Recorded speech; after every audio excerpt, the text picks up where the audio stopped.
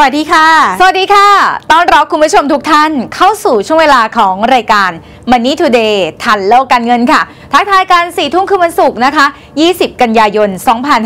2567 กับเราสองคนเช่นเคยค่ะ คุณแพนนทิประดา และดิฉันแนสที่คำพรค่ะ จุดเริ่มต้นในการที่จะปรับลดอัตราดอกเบี้ยของสหรัฐอเมริกาเริ่มต้นขึ้นแล้วนะคะ ส่งผลทำให้มีการจับตาถึงนโยบายการเงินสำคัญสำคัญของประเทศต่างๆ แล้วค่ะ อย่างเมื่อวานนี้เราก็ได้พูดคุยกันไปแล้วว่า การประชุมของ BOJ นั้น เป็นช่วงวาระสำคัญที่จะต้องจับตาทั้งเศรษฐกิจทั้งเงินเฟ้อในประเทศและจะมีโอกาสพิจารณาขึ้นอัตราดอกเบี้ยหรือไม่ต้องรอติดตามนะคะ ซึ่งในวันนี้ค่ะทางด้านของธนาคารกลางญี่ปุ่นนั้น ตัดสินใจที่จะคงอัตราดอกเบี้ยเอาไว้ที่ระดับเดิม พร้อมกับระบุว่าจะรอดูพัฒนาการและผลที่เกิดขึ้น จากการปรับลดอัตราดอกเบี้ยครั้งแรกในช่วงเดือนที่ผ่านมานะคะ โดยทางด้านของธนาคารกลางญี่ปุ่นมีมติเป็นเอกฉันท์ให้คงอัตราดอกเบี้ยนโยบายที่ระดับ 0.25%ซึ่งเป็นอัตราที่สูงที่สุดนับตั้งแต่ปี 2551 ในการประชุมวันนี้ สอดคล้องกับคาดการณ์ของนักเศรษฐศาสตร์ในโพลสำรวจของรอยเตอร์ค่ะ ซึ่งส่วนใหญ่ว่าจะมีการขึ้นอัตราดอกเบี้ยอีกครั้งสำหรับญี่ปุ่นนั้นน่าจะเกิดขึ้นภายในสิ้นปีนี้นะคะ โดยการตัดสินใจคงอัตราดอกเบี้ยนโยบายนั้น เป็นการส่งสัญญาณอย่างระมัดระวังเกี่ยวกับการปรับนโยบายการเงินสู่ระดับปกติ ซึ่งถือเป็นการเปลี่ยนแปลงครั้งสำคัญจากเดิมที่เคยใช้นโยบายผ่อนคลายทางการเงินมาเป็นเวลานาน หลังจากที่มีสัญญาณบ่งชี้ถึงการฟื้นตัวของเศรษฐกิจค่ะยังอยู่ที่เรื่องของดอกเบี้ยนะคะ แต่ว่าออกจากญี่ปุ่นไปดูที่จีนกันบ้างค่ะ เพราะว่าหลังจากที่เฟด หรือว่าธนาคารกลางสหรัฐนะคะ หั่นดอกเบี้ยครั้งใหญ่ลดไปถึง 0.50%ค่ะ ปรากฏว่าธนาคารกลางจีนนะคะ ยังคงดอกเบี้ยไว้ค่ะ เรียกว่าสวนทางกับโพสำรวจก่อนหน้านี้เลยค่ะ โดยธนาคารกลางจีนหรือว่า PBOC ค่ะประกาศคงอัตราดอกเบี้ยเงินกู้ลูกค้าชั้นดีนะคะ หรือว่า LPR ประเภท 1 ปี คงเอาไว้ค่ะที่ระดับ 3.35% แล้วก็คงอัตราดอกเบี้ย LPR ประเภท 5 ปี ที่ระดับ 3.85%ด้วยค่ะซึ่งการดำเนินการของธนาคารกลางจีนในวันนี้นะคะ สวนทางกับที่นักวิเคราะห์ในโพลสำรวจของสนักข่าวรอยเตอร์คาดการณ์เอาไว้ค่ะ ที่มองว่าธนาคารกลางจีนนั้น จะปรับลดอัตราดอกเบี้ย LPR หลังจากที่เฟด ประกาศลดอัตราดอกเบี้ยลงไปถึง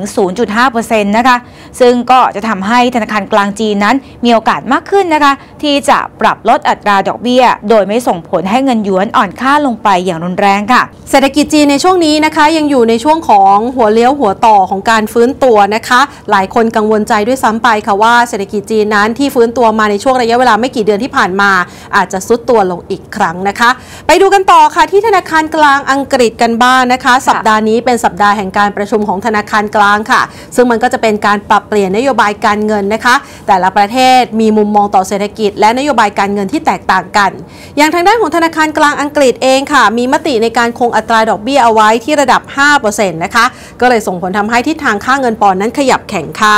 คณะกรรมการนโยบายการเงินของธนาคารอังกฤษค่ะลงมติ 8 ต่อ 1 เสียง ให้คงอัตราดอกเบี้ยนโยบายเอาไว้ที่ 5%มีเพียงแค่เสียงเดียวเท่านั้นที่สนับสนุนให้มีการลดอัตราดอกเบี้ยนะคะ ในขณะเดียวกันก็มีการลงมติลดจำนวนพันธบัตรรัฐบาลอังกฤษลง1แสนล้านปอนด์หรือว่าประมาณ 1 3 3 0 0 0 ล้านดอลลาร์สหรัฐ ในช่วง 12 เดือนข้างหน้า แอนดรูเบลเล่ผู้ว่าการธนาคารกลางอังกฤษระบุค่ะว่า อังกฤษน่าจะสามารถปรับลดอัตราดอกเบี้ยอย่างค่อยเป็นค่อยไปได้ในช่วงหลายเดือนข้างหน้า ซึ่งทางด้านของนักลงทุนคาดการว่า ธนาคารกลางอังกฤษนั้นจะลดอัตราดอกเบี้ยช้ากว่าเฟดในปี 2568 เนื่องจากอัตราเงินเฟ้อนั้นยังอยู่ในแรงกดดันอย่างต่อเนื่องนะคะ กลับมาดูที่บ้านเรากันบ้างค่ะ ได้เห็นว่าเฟดหรือว่าสหรัฐลดดอกเบี้ยไปแล้ว แล้วก็หลายประเทศคงดอกเบี้ยไว้นะคะ ถามว่าประเทศไทยจำเป็นต้องลดดอกเบี้ยตามเฟดหรือไม่ล่าสุดค่ะ ทางผู้ว่าแบงค์ชาติบอกว่าไม่จำเป็นนะคะที่ไทยเราจะต้องลดดอกเบี้ยตามเฟดค่ะแล้วก็ยอมรับค่ะว่าตอนนี้บาทแข็งค่า และมีความพันพ้นอย่างหนักค่ะ ทางคุณเศรษฐพุทธสุดที่ว่านรพุทธผู้ว่าการธนาคารแห่งประเทศไทย หรือว่าผู้ว่าแบงค์ชาติค่ะ ได้ออกมากล่าวนะคะ ถึงกรณีที่ธนาคารกลางสหรัฐหรือว่าเฟดมีมติปรับลดอัตราดอกเบี้ยนโยบายลงไป 0.5%ค่ะ บอกว่าสำหรับประเทศไทยนะคะ ไม่จำเป็นต้องลดดอกเบี้ยตามเฟดค่ะ การดำเนินนโยบายของแบงก์ชาตินั้น ยังคงเน้นจากปัจจัยในประเทศเป็นหลักนะคะ ก็คือแนวโน้มเศรษฐกิจว่าสามารถเติบโตได้ถึงศักยภาพหรือไม่ อัตราเงินเฟ้อจะเข้ากรอบเป้าหมายหรือไม่ และเสถียรภาพการเงินค่ะ ซึ่งทั้ง 3 ปัจจัยนะคะยังไม่เห็นสิ่งที่ทำให้ภาพการประเมินเศรษฐกิจต่างไปจากที่แบงก์ชาติได้เคยประเมินเอาไว้ค่ะ ซึ่งเชื่อว่าการตัดสินใจนั้นเหมาะสมถูกต้องค่ะ โดยทางผู้ว่าแบงก์ชาติก็บอกด้วยนะคะว่า ต้องคำนึงด้วยว่าการลดดอกเบี้ยนั้น จะช่วยกระตุ้นเศรษฐกิจได้จริงแค่ไหน เพราะว่าต้องชั่งน้ำหนักนะคะ ระหว่างภาระหนี้เดิม กับสินเชื่อใหม่ที่จะเกิดขึ้น และอยากฝากว่าการลดดอกเบี้ยนั้น ผลที่จะส่งต่อไปยังการลดภาระหนี้อาจจะไม่เต็มที่ด้วยนะคะ โดยเฉพาะกลุ่มเปราะบาง การปรับลดดอกเบี้ย ผลที่จะได้รับอาจไม่มากเท่ากับการปรับโครงสร้างหนี้ และจะคาดหวังว่าดอกเบี้ยลงแล้ว ภาระหนี้ลดลงทันทีคงไม่ใช่ค่ะนี่ก็เป็นสัปดาห์นะคะของการติดตามการเปลี่ยนแปลงนโยบายการเงินของแต่ละประเทศนะคะ ซึ่งคาดการว่าการลดอัตราดอกเบี้ยของเฟดนั้น น่าจะส่งผลทำให้มีเม็ดเงินฟันโฟไหลเข้าในโซนตลาดเอเชีย แล้วก็ตลาดเกิดใหม่ด้วยละค่ะ ทิ้งท้ายเบรกนี้กันที่ World Round Up นะคะ และช่วงหน้ากลับมาหาข้อมูลเกี่ยวกับการลงทุน โดยเฉพาะอย่างยิ่งเรื่องของสัมมนาที่นำมาฝากกันค่ะ สำนักข่าวบลูมเบิร์กรายงานว่า Volkswagen ผู้ผลิตรถยนต์ยักษ์ใหญ่สัญชาติเยอรมนี วางแผนปิดโรงงานผลิตรถยนต์ที่ร่วมทุนกับค่ายรถยนต์จีนลงชั่วคราว คาดเร็วสุดในปีหน้า และอาจสั่งปิดเพิ่มอีกหลายแห่ง หลังความต้องการรถยนต์เครื่องยนต์สันดาปภายในประเทศจีนชะลอตัวลงอย่างหนัก และชาวจีนเปลี่ยนไปใช้รถยนต์ไฟฟ้าหรือ EV ที่กำลังเติบโตอย่างรวดเร็ว โดยค่ายผู้ผลิตท้องถิ่นเช่น BYD ได้ครองตลาดด้วยการใช้กลยุทธ์ราคาไม่แพง และรูปทรงที่ทันสมัย CNN รายงานว่าสมาชิกสาภาพสมาคมช่างเครื่องระหว่างประเทศจำนวน 33,000 คน นัดหยุดงานประท้วงเป็นวันที่ 7 แล้ว ส่งผลให้บริษัทโบอิงสูญเสียเงิน 572 ล้านเหรียญสหรัฐ หรือ 18,000 ล้านบาท ตามการประเมินของบริษัท Anderson Economic Group คนงานเริ่มประท้วงตั้งแต่วันที่ 13 กันยายนที่ผ่านมา โดยโหวตปฏิเสธข้อเสนอเพิ่มเงิน 25%ในช่วง 4 ปี แต่ต้องการให้เพิ่มอย่างน้อย 40%และรวมถึงเรียกร้องให้มีการปรับปรุงในเรื่องอื่น ๆ อย่างไรก็ตามทั้งสองฝ่ายยังห่างไกลการเจรจา และคาดว่าความสูญเสียอาจสูงถึง 1,000 ล้านดอลลาร์หรือประมาณ 33,000 ล้านบาทในต้นสัปดาห์หน้า GU ซึ่งเป็นแบรนด์พี่น้องกับยูนิโคล่ประกาศเปิดร้านสาขาแรกในสหรัฐ ที่นิวยอร์กในวันนี้ ขณะเดียวกันก็เปิดร้านค้าออนไลน์ พร้อมบริการจัดส่งสินค้าครอบคลุมทั่วประเทศ ก่อนหน้านี้เมื่อช่วงต้นเดือน GU ได้เปิดสำนักงานใหญ่ในสหรัฐ เพื่อดูแลกลยุทธ์ทางธุรกิจในตลาดสหรัฐที่มีขนาดใหญ่ พร้อมตั้งเป้าขยายสาขาในประเทศอย่างรวดเร็ว ร้านสาขานิวยอร์กเป็นเครื่องพิสูจน์ว่า GU จะก้าวไปข้างหน้า เพื่อขึ้นแท่นเป็นแบรนด์ระดับโลก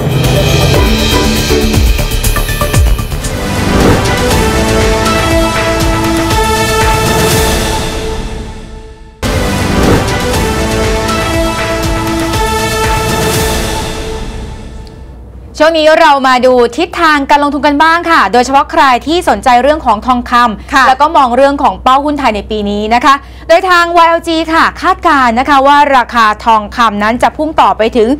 2,700 ดอลลาร์ในปีนี้ค่ะ ส่วนทางบลบัวหลวงเองก็ตั้งเป้านะคะ ว่าหุ้นไทยปีนี้จะอยู่ที่ 1,500 จุดเลยค่ะวารสารการเงินธนาคารนะคะจากงานสัมมนา Winning Asset 2024 จังหวะนี้ลงทุนสินทรัพย์อะไรกำไรดีสุด ในหัวข้อ วัดสัญญาณกระทิง จุด new high ทองคำระดับต่อไปค่ะ โดยทางคุณฐิภานววัฒนทรัพย์นะคะ ประธานเจ้าหน้าที่บริหารบริษัท YLG Bullion and Future จำกัดค่ะ บอกว่า ภายในปีนี้ทองคำมีโอกาสทำจุดสูงสุดใหม่นะคะ โดย YLG มองราคาเป้าหมายใหม่อยู่ที่ 2,650 ถึง 2,700 ดอลลาร์สหรัฐต่อทรอยออนซ์ค่ะ เนื่องจากการเข้าสู่วงจรดอกเบี้ยขาลงไปอีก 2 ปีนะคะ ของธนาคารกลางสหรัฐหรือว่าเฟดจะเป็นปัจจัยหนุนหลักค่ะ ในระยะยาวต่อราคาทองคำส่วนในปีหน้านะคะ ปี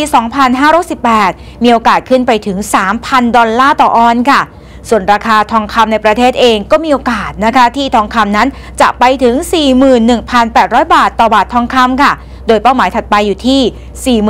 42,600 ถึง 43,000 บาทต่อบาททองคำค่ะ และนอกจากนี้นะคะในงานสัมมนาค่ะ ยังมีการพูดคุยในหัวข้อ ตลาดหุ้นดาวเด่น อนาคตไกล โดยทางคุณวิกิตธีรวรรณรัตน์ผู้ช่วยกรรมการผู้ในการฝ่ายกลยุทธ์การลงทุน สายงานวิจัยบลบัวหลวงนะคะ บอกว่าตลาดหุ้นไทยนั้น คงไม่ปรับตัวลงแรงเท่ากับตลาดหุ้นสหรัฐค่ะ เพราะว่าที่ผ่านมาตลาดหุ้นไทยนั้นปรับตัวลงมาก่อนนะคะ แล้วก็มีกองทุนวายุภักษ์กองทุนไทย ESG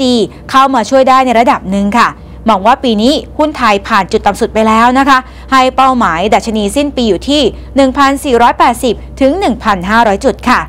ส่วนในด้านของคุณสิทธิชัยดวงรัตนฉายา นักกลยุทธ์อาวุโสตลาดหุ้นไทยและต่างประเทศ ฝ่ายกลยุทธ์การลงทุนบล. อินโนเวสท์ เอกซ์นะคะก็บอกว่าหุ้นกลุ่มเทคโนโลยีสหรัฐ มีปัจจัยหนุนทางด้านอัตราการเติบโตของกำไร และพัฒนาการในเชิงนวัตกรรม ดังนั้นค่ะ มองว่าเงินนั้นยังคงไหลเข้าลงทุนนะคะ ไม่ได้เป็นฟองสบู่ ส่วนหุ้นดาวเด่นค่ะ แนะนำนะคะ กลุ่มสมาร์ทโฟน PC โน้ตบุ๊กค่ะ ได้แก่ Apple AMD Intel แล้วก็ Nvidia ค่ะ ส่วนทางด้านของคุณชยนนท์รักการจนันนะคะ Head Coach and Co-founder Phenomena บอกว่าตลาดหุ้นเกิดใหม่นั้นยังน่าสนใจค่ะ ให้น้ำหนักตลาดหุ้นอินเดียมาเป็นอันดับหนึ่งนะคะ เนื่องจากเศรษฐกิจเติบโตสูงกำลังซื้อเพิ่มมากขึ้นจากชนชั้นกลางค่ะ แล้วก็ได้อานิสงส์นะคะจากการเพิ่มน้ำหนักใน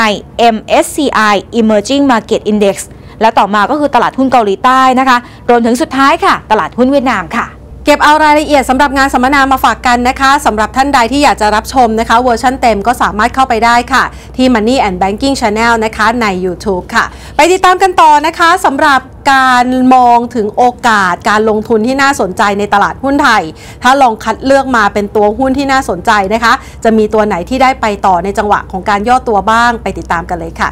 นั้นก็มีการหมุนกลุ่มเล่นไปหากลุ่มที่น่าจะได้รับอานิสงส์นะฮะจากดอกเบี้ยขาลง นะกลุ่มแรกที่เราเห็นเลยนะฮะที่อ่าปรับตัวขึ้นมานะครับก็คือหุ้นในกลุ่มที่เป็นอ่าเป็นลักษณะของกลุ่มเช่าซื้อกลุ่มนอนแบงค์ค่ะนะฮะกลุ่มที่ไม่ใช่ธนาคารพาณิชย์แล้วกัน แต่ว่ามีต้นทุนนะฮะเป็นดอกเบี้ยอืมนะฮะก็คือพวกเช่าซื้อนอนแบงค์บัตรเครดิตนะพวกนี้เนี่ยเห็นภาพอย่างหนึ่งก็คือมีแรงเก็งกำไรเกิดขึ้นนะครับตอนที่มีการคาดหวังในเรื่องของทิศทางดอกเบี้ยขาลงนะฮะแล้วก็อาจจะได้แรงหนุนในเรื่องของการแจกเงินของภาครัฐด้วย นะฮะเพราะว่ามาตรการแจกเงินรอบนี้เนี่ยไม่ได้แจกเป็นดิจิ t a ลวอลเล็ตค่ะแจกเป็นเงินสดนะฮะเพราะฉะนั้นก็สองมุมนะครับหนึ่งไปกระตุ้นการบริโภคด้วย แล้วก็กระตุ้นการจ่ายคืนหนี้ด้วยนะครับ เพราะฉะนั้นเนี่ยก็เลยเป็นสองมุมนะฮะที่หนุนขึ้นมากลุ่มที่หนึ่งนะที่มีเงินเม็ดเงินหมุนเข้ามานะกลุ่มที่สองที่มีเม็ดเงินหมุนเข้ามาวันที่เฟดลดดอกเบี้ยนะฮะเราเห็นชัดนะก็คือหุ้นในกลุ่มอสังหาริมทรัพย์ค่ะนะฮะอสังหาริมทรัพย์พวกบ้านนี่แหละอือฮึนะฮะเพียงแต่ว่ากลุ่มอสังหาเนี่ยผมมองว่า อัพไซด์ช่วงสั้นๆให้ปรับขึ้นเนี่ยอาจจะไม่ได้เยอะมากเท่าไหร่นักนะเพราะว่าผลประกอบการไตรมาสที่สามเนี่ย น่าจะไม่ค่อยดี ไม่ค่อยสดใสกันค่ะนะครับ ยังยังไม่ค่อยสดใสนะครับ ซึ่งตอนนี้เนี่ยพอพ้นช่วงของเดือนกันยายนเนี่ยเข้าสู่ช่วงของเดือนตุลาคม ก็จะเป็นช่วงการพรีวิวงบไตรมาสที่สามละเพราะฉะนั้นหุ้นในกลุ่มอสังหาเนี่ยอ่าถ้าใครเล่นเก็งกำไรในเรื่องของดอกเบี้ยขาลงเนี่ยอาจจะหาจังหวะเทคโปรฟิตสักนิดนึงนะครับแล้วก็ช่วงของงบออกหรือช่วงของการพรีวิวงบนะฮะถ้ากลุ่มอสังหาย่อตัวลงมาเนี่ย ก็เป็นจังหวะเก็บรอบใหม่ค่ะนะเก็บรอบใหม่นะครับเพราะว่าปีหน้าดอกเบี้ยลงดอกเบี้ยไทยน่าจะลงจริงนะตรงนั้นเนี่ยน่าจะเป็นบวกกับหุ้นในกลุ่มอสังหาและกลุ่มที่สามที่เราเห็นเม็ดเงินหมุนเข้ามาเนี่ยคือหุ้นในกลุ่มโรงไฟฟ้าค่ะอันนี้ชัดเจนนะฮะโรงไฟฟ้าเนี่ยเป็นธุรกิจที่ใช้เงินลงทุนเยอะมาก แล้วส่วนใหญ่เนี่ยกู้อือฮึเนี่ยฮะกู้นะครับคนอื่นเขากู้กันดีอีสองเท่านะโรงไฟฟ้านี่บางตัวนี่กู้กันขึ้นไปสามถึงสี่เท่าค่ะ นะเพราะว่าเป็นธุรกิจที่ความเสี่ยงน้อยนะแบงก์ส่วนใหญ่เขาก็พร้อมที่จะปล่อยกู้ให้นะครับเพราะฉะนั้นเนี่ยดีค่อนข้างสูง ภาระดอกเบี้ยจ่ายสูงนะครับเพราะฉะนั้นดอกเบี้ยขาลงเนี่ยจะเป็นบวกกับหุ้นในกลุ่มโรงไฟฟ้าโดยตรงนะครับแล้วยิ่งในช่วงนี้เนี่ยที่ดอกเบี้ยเฟดเขาลง ดอกเบี้ยไทยไม่ลงเนี่ยค่าเงินบาทก็แข็งนะเพราะฉะนั้นเนี่ยโรงไฟฟ้าส่วนใหญ่แล้วนะฮะหนึ่งคือเป็นหนี้ต่างประเทศด้วยนะครับแล้วก็ต้นทุนพลังงานส่วนใหญ่ก็นำเข้านะเพราะฉะนั้นเนี่ยดอกบาทแข็งเนี่ย ก็เป็นบวกกับเขาอีกมุมหนึ่งด้วยนะครับ เพราะฉะนั้นกลุ่มโรงไฟฟ้าก็เลยเรียกว่าได้สองเด้งค่ะนะครับ ได้สองเด้งนะครับ อันนี้ก็จะเห็นเป็นภาพของกลุ่มหลักๆนะฮะที่เห็นการสลับกลุ่มนะก็คือสลับกับกลุ่มพลังงาน สลับกับกลุ่มอ่าธนาคารพาณิชย์นะไปอีกกลุ่มสามกลุ่มนี้ที่ได้ประโยชน์ในเรื่องของดอกเบี้ยขาลงนะครับค่ะก็คือกลุ่มอ่าไฟแนนซ์กลุ่มอสังหาแล้วก็กลุ่มโรงไฟฟ้า ค่ะ อ่า ได้กลุ่มไปแล้วนะคะ ตัว top pick ล่ะคะ เราเลือกยังไงให้กับนักลงทุนบ้างคะ ครับถ้ามาดูกลุ่มที่เอาเป็นกลุ่มที่ได้ประโยชน์นะฮะก็อย่างที่บอกไปกลุ่มไฟแนนซ์เนี่ยค่ะนะฮะเราก็ชอบสองตัวหลักก็คือสวัสดิ์กับติดล้อค่ะนะสวัสดิ์กับติดล้อนะครับเราชอบสองตัวนี้นะครับ อันนี้ก็จะเป็น top pick ในกลุ่มไฟแนนซ์ของเรา แล้วก็อ่าถ้าจะไปมองหุ้นในกลุ่มอสังหานะฮะจริงๆเนี่ย top pick ที่นักวิเคราะห์เราเราชอบเนี่ยคือตัว AP นะคือตัว AP นะครับ แต่ว่านะฮะจะมีตัวหนึ่งที่ผมมองว่าน่าสนใจเนี่ยก็คือตัวแลนด์แอนด์เฮ้าส์ คือปัจจัยพื้นฐานจริงๆเนี่ย AP อาจจะดูเด่นกว่าค่ะนะเด่นกว่าแลนด์เฮาส์นะครับ แต่แลนด์เฮาส์เนี่ยมันจะมี catalyst ในช่วงสองเดือนนี้นะครับ ก็คือการจ่ายปันผลระหว่างกาลที่มันเลื่อนออกมาอืมนะเดิมนะฮะทุกๆ ปีเนี่ยแลนด์เฮาส์เขาจ่ายปันผลระหว่างกาลสักประมาณช่วงเดือนสิงหานะครับรอบนี้เนี่ยไม่จ่ายนะฮะไม่จ่ายเดือนสิงหาก็หุ้นก็ลงเลยอืมนะครับ แล้วก็นักลงทุนก็อาจจะกังวลว่าเอ๊ะทำไมไม่จ่ายอืม เกิดปัญหาสภาพคล่องหรือเปล่าค่ะนะครับ ก็นักวิเคราะห์ของเราก็สอบถามไปทางทางบริษัทละนะครับ การจ่ายปันผลระหว่างการเนี่ย ก็อาจจะติดขัดปัญหาทางเทคนิคนิดนึงก็ไม่ไม่ทราบรายละเอียดนะครับ แต่ว่าน่าจะประกาศปันผลระหว่างการเนี่ย เป็นเดือนพฤศจิกายนค่ะนะครับเพราะฉะนั้นเนี่ย Land and House เนี่ยเท่ากับว่าเราซื้อวันนี้เนี่ยมีโอกาสได้ปันผลระหว่างกาลสักประมาณ 2-3%เนี่ยนะในช่วงของเดือนพฤศจิกายนประกาศ นะฮะขณะที่หุ้นในกลุ่มอสังหาตัวอื่นเนี่ยถ้าใครจะซื้อเพื่อหวังปันผลเนี่ยมันต้องรอไปช่วงกลางปีหน้าค่ะนะฮะก็คือสักประมาณเดือนเมษาพฤษภานะครับให้จบงบปีนะฮะเพราะฉะนั้นก็ Land House ก็เลยอาจจะเป็นตัวหนึ่งที่อาจจะมี catalyst นะฮะมี storyนะฮะของเขานะฮะเฉพาะตัวเรื่องของปันผลอืมนะครับกลุ่มสุดท้ายนะครับอย่างที่บอกไปกลุ่มที่อันนี้ส่งดอกเบี้ยขาลงเนี่ยก็จะเป็นหุ้นในกลุ่มโรงไฟฟ้าค่ะ นะโรงไฟฟ้านะฮะท็อปพิกที่ผมมองว่าอ่าที่นักวิเคราะห์เราชอบก่อนละกันคือตัว GPSC นะฮะ GPSC นะครับ แต่ว่าตัวที่ผมมองว่าน่าจะนะครับน่าสนใจเนี่ยนะก็คือตัวโรงไฟฟ้าราชบุรีนะครับเพราะว่าตอนนี้เนี่ย GPSC ถ้าเกิดเรามองในส่วนของตัวปันผลกันจริงๆเนี่ย GPSC เนี่ยเป็นตัวที่ไม่ได้เน้นเรื่องของปันผลอยู่แล้วค่ะนะเป็นเน้นตัวเน้นที่อาจจะเน้นในเรื่องของ growth นะฮะในเรื่องของการเติบโต นะฮะเพราะฉะนั้นเนี่ยปันผลของเขาอาจจะไม่ได้สูงเท่าไหร่นักนะในความเป็นโรงไฟฟ้านะครับ ก็สักประมาณ dividend yield แค่สองเปอร์เซ็นต์เองนะครับ แต่ว่าสาเหตุที่ผมเลือกโรงไฟฟ้าราชบุรีนะเพราะตัวนี้เนี่ยเป็นตัวที่ปันผลค่อนข้างสูง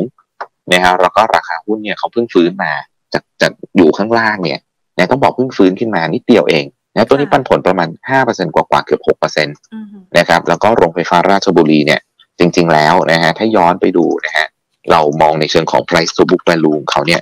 ต้องบอกว่าตรงโรงไฟฟ้าตัวนี้เนี่ย ตอนนี้นะฮะแม้ว่าจะฟื้นขึ้นมาก็ยังต่ำบุ๊กค่ะนะ book value อยู่ประมาณอ่าตอนนี้ price to book อยู่ที่ 0.67 ไม่ถึงหนึ่งเท่า book อืมแล้วถ้าย้อนกันไปจริง ๆ ตอน hamburger crisis ปี 2008นะตอนนั้นโรงไฟฟ้าตัวราชบุรียังไม่เคยต่ำ book เลยอ่าไม่เคยต่ำ book นะครับตอนเกิดวิกฤตโควิด -19 นะฮะก็ไม่ต่ำ book นะฮะอยู่ประมาณ 1.1 เท่า book นะตอนนี้ต่ำ book นะฮะเพราะฉะนั้นผมมองว่าแม้ว่าจะฟื้นขึ้นมาแล้วก็ตามเนี่ย ตัวโรงไฟฟ้าเองเนี่ยราชบุรีเนี่ย upside ยังพอมีให้เห็นอีกเยอะนะฮะสำหรับตัวนี้นะครับผมก็เลยมองว่าน่าจะมองในเรื่องของการเป็น value stock แล้วกัน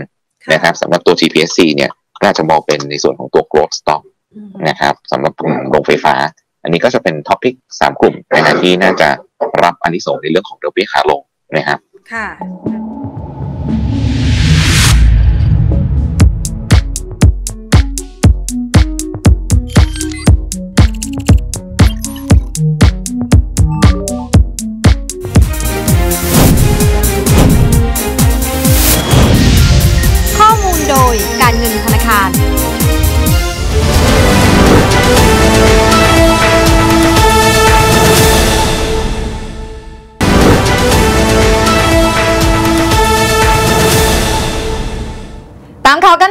ต่อกับ Money Today ค่ะ ช่วงนี้เราต้องส่งกำลังใจนะคะ ให้กับคนที่ถูกน้ำท่วมในหลายพื้นที่เลยค่ะ เช่นเดียวกับทางกระทรวงพลังงานนะคะ และทางกลุ่มปตทค่ะ ระดมความช่วยเหลืออุทกภัยอย่างต่อเนื่องนะคะ และล่าสุดค่ะ ได้ส่งทีม PTT Group Seal เร่งจัดส่งถุงยางชีพ ช่วยเหลือผู้ประสบภัยนะคะกว่า 20,000 จุดค่ะ รวมมูลค่ากว่า 10 ล้านบาทติดตามกันค่ะ เชิญค่ะ วิกฤตน้ำท่วมในพื้นที่ภาคเหนือ อิทธิพลของร่องมรสุมที่พาดผ่านทางตอนบนของพื้นที่ทำให้เกิดฝนตกหนักผสานกับน้ำที่ไหลทะลักมาจากประเทศเมียนมาทำให้มีปริมาณน้ำมหาศาลไหลลงสู่ลุ่มน้ำหลัก และลุ่มน้ำสาขาต่างๆ อย่างรวดเร็ว ในพื้นที่ 5 จังหวัดภาคเหนือ ตั้งแต่เชียงราย น่าน พะเยา แพร่ และสุโขทัย น้ำสูงถึง 2 เมตร ยังสร้างความเสียหายแก่บ้านเรือน หมู่บ้านถูกตัดขาดจากโลกภายนอก ประชาชนในหลายพื้นที่ยังติดอยู่ในบ้านไม่สามารถออกมาได้ สร้างความเสียหายนับเป็นมูลค่าทางเศรษฐกิจในพื้นที่ภาคเหนือตอนบนกว่า 25,000 ถึง 27,000 ล้านบาท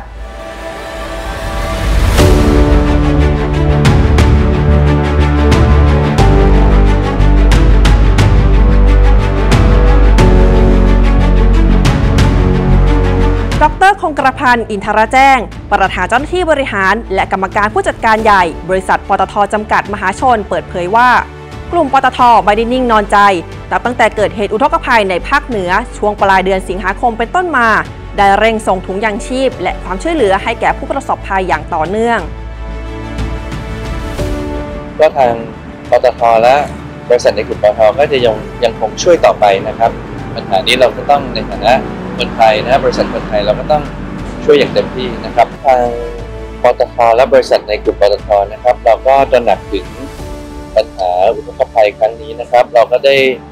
ร่วมช่วยเหลือร่วมกับหน่วยงานต่างๆ ตั้งแต่ปลายเดือนสิงหาเป็นต้นมานะฮะจนถึงวันนี้เนี่ยนะครับเริ่มจากเรามีหน่วยงานนะครับหน่วยที่เรียกว่าหน่วยซีลนะครับ เป็นอาสาสมัครนะฮะในบริษัทในกลุ่มปตททั้งหมดเนี่ยมีความเชี่ยวชาญเฉพาะด้านนะครับ รู้จักการกู้ภัยนะฮะอุทกภัยน้ำท่วมการอพยพนะครับมีอุปกรณ์เรือท้องแบนต่างๆ ก็ลงพื้นที่นะครับร่วมกับทางจังหวัดทางบรรเทาสาธารณภัยนะครับเข้าไปร่วมนะครับช่วยแก้ปัญหาช่วยแจกถุงยังชีพอุปกรณ์ต่างๆนะครับแล้วก็ไปช่วยผู้ประสบภัยนะครับ นอกจากนี้ผู้บริหารและพนักงานกลุ่มปตทยังได้ร่วมการบรรจุถุงยางชีพเพิ่มเติมอีก 2,000 ชุด ส่งมอบความช่วยเหลืออย่างเร่งด่วนไปยังภาคตะวันออกเฉียงเหนือ อาทิหนองคายและจังหวัดอื่น ๆ ที่ประสบอุทกภัย รวมยอดความช่วยเหลือถุงยางชีพจำนวน 20,000 ถุง น้ำดื่ม 70,000 ขวดก๊าซหุงต้มเพื่อใช้ในการประกอบอาหาร และของใช้จำเป็นต่าง ๆ มูลค่ากว่า 10 ล้านบาท พร้อมส่ง PTT Group Seal รวมพนักงานที่มีความเชี่ยวชาญพิเศษในการกู้ชีพ และช่วยเหลือผู้ประสบภัย จากบริษัทในกลุ่มปตท เพื่อปฏิบัติภารกิจร่วมกับหน่วยงานภาครัฐ มุ่งเป้าลงพื้นที่ที่ยากแก่การเข้าถึง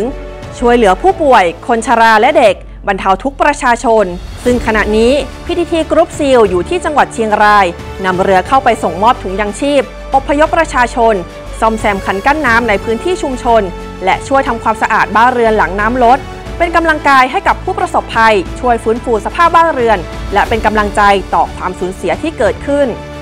กลุ่มปตท พร้อมประสานพลังเพื่อสังคม ซึ่งถือเป็นหนึ่งในพันธกิจที่สำคัญในการช่วยสังคม ฝ่าสถานการณ์วิกฤตต่างๆ ของประเทศ ส่งมอบความช่วยเหลือ และบรรเทาทุกข์ให้แก่ผู้ประสบภัย จนกว่าสถานการณ์จะคลี่คลายสู่ภาวะปกติ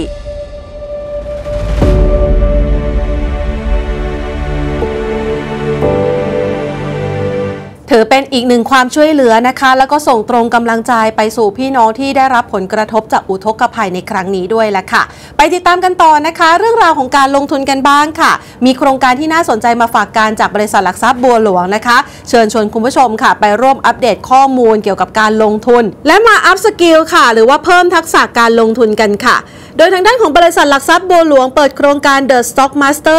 2024 ในปีที่ 13 ค่ะ ด้วยธีม DIY Investor vs Auto Investing เลือกลงทุนเองหรือลงทุนอัตโนมัตินะคะ โดยหลักทรัพย์บัวหลวงค่ะ เชิญชวนคุณผู้ชมมาเรียนรู้ในหลักสูตรการลงทุนออนไลน์ แบบรู้จริงกับสนามจริง ที่ครอบคลุมความรู้ใน 4 มิติ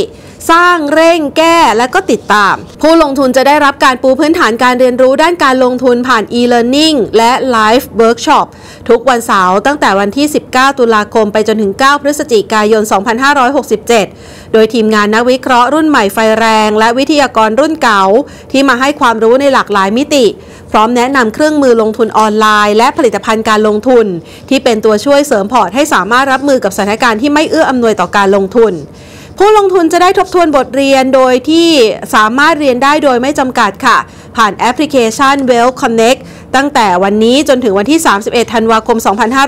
2567 ได้รับ e-certificate เมื่อเช็คอินเข้าเรียนประจำสัปดาห์ครบ 4 ครั้ง เปิดรับสมัครแล้วตั้งแต่วันนี้จนถึง 14 ตุลาคมนี้นะคะ ผ่านแอปพลิเคชัน Well Connect หรือเข้าไปที่เว็บไซต์ www.buoluang.co.th slash the stockmaster พิเศษค่ะ เมื่อสมัครและชำระเงินภายในวันที่ 30 กันยายนนี้ รับ Welcome Package ด้วยค่ะ เป็นอีกหนึ่งโครงการน่าสนใจนะคะ จากทางบลบัวหลวงค่ะ ใครที่อยากจะเรียนรู้เรื่องการลงทุนนะคะ เข้าไปดูแล้วก็ไปสมัครเรียนกันได้ค่ะ นี่เป็นข่าวสารที่นำมาฝากกันในค่ำคืนวันนี้นะคะ จันทร์หน้าสี่ทุ่มกลับมาพบกัน สวัสดีค่ะ สวัสดีค่ะ